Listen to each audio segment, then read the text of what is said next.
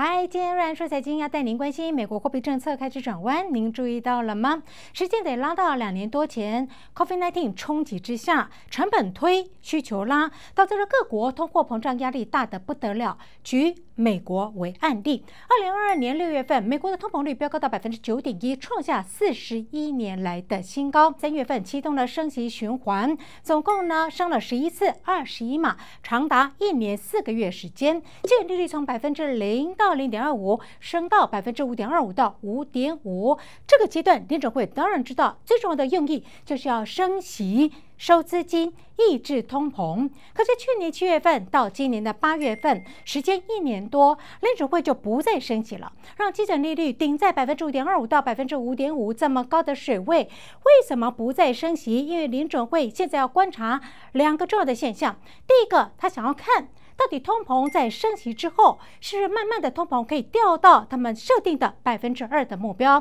第二个，继续观察这么高的利率水准，成本的垫高会不会冲击到就业市场？还包括了经济呢？果然被联准会给料到了。您看，今年七月份，美国的失业率攀高到百分之四点三，两年多来的高，所以喽。联准会的货币政策在不得不转弯，同样是降息，所以降息理由是大不同的。从全球央行年会，联准会的主席鲍尔就说了一段话，这句话可以读出他的弦外之音。他说：“通膨升温的风险确实是降低了。”但美国的就业市场降温的风险却不断的在做增加，因此呢，根据彭博的资料显示，他说呢，到年底前三次的开会，也许是九月、十一月跟十二月份，很有可能年底前会降级三码。一次降一码，把基准利率呢从百分之五点二五到五点五降到百分之四点五到四点七五。换句话说，我们今天要告诉大家的美国货币政策的转弯到底是什么意思呢？本来联准会认为同样都是降息，但联准会认为不是原来计划好的。我升息之后，通膨控制的好，经济呢走在稳健的步道上，所以呢让基准利率回归到正常的水准，不是这样，反是转弯了。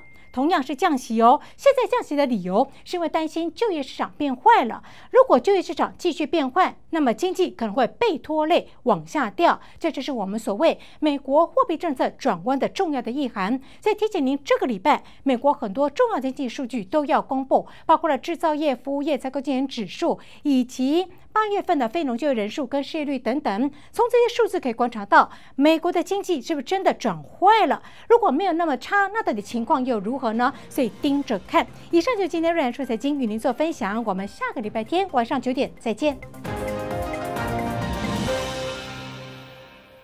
本公司与所推介分析之个别有价证券无不当之财务利益关系。本节目资料仅供参考，投资人应独立判断、审慎评估并自负投资风险。诈骗猖獗，所有要求加入胡瑞涵赖群组都是诈骗，请拨打一六五反诈专线求证。